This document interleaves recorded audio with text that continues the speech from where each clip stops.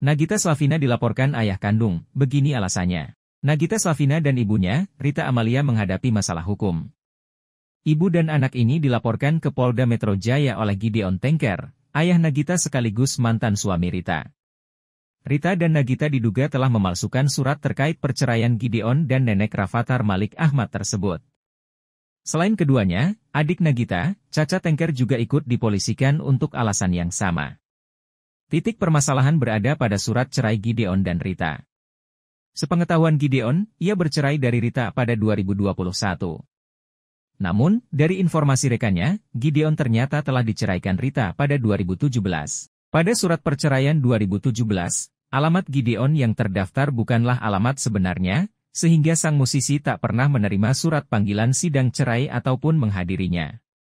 Lalu, pada 2021 lalu, Nagita bersama Caca datang menemui Gideon untuk memintanya menandatangani surat pernyataan yang ternyata sudah dipakai sejak 2017 untuk keperluan perceraian tersebut.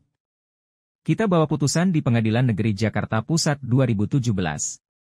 Bukti surat itu yang Om tanda tangan 2021, tapi surat itu sudah ditanda tangan di Pengadilan Negeri Jakarta Pusat tahun 2017, kata kuasa hukum Gideon. Erles Rareral. Gideon, ditemani kuasa hukumnya, telah mendatangi Polda Metro Jaya untuk pemeriksaan pada 1 Februari lalu. Selama tiga jam pemeriksaan, Gideon mendapat 19 pertanyaan dari penyidik. Bapak polisi penyidik ya?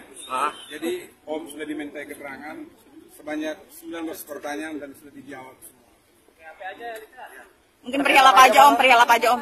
Eh, jadi perihal mengenai dugaan, dugaan kuat ya, dugaan kuat pemalsuan surat itu ya, mengarah kepada pemalsuan surat itu. Ya?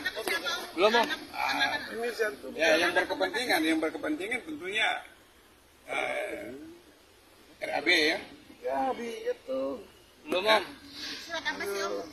Ya surat itu yang dibawa ke pengadilan itu yang menyatakan bahwa Om menerima untuk bercerai, sudah bersepakat bercerai, dan Om tidak menghadiri sidang perceraian.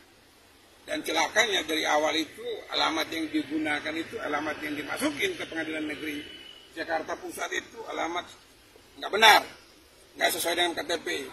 KTP-nya Om kan Bogor, ya Om ya Kabupaten Bogor.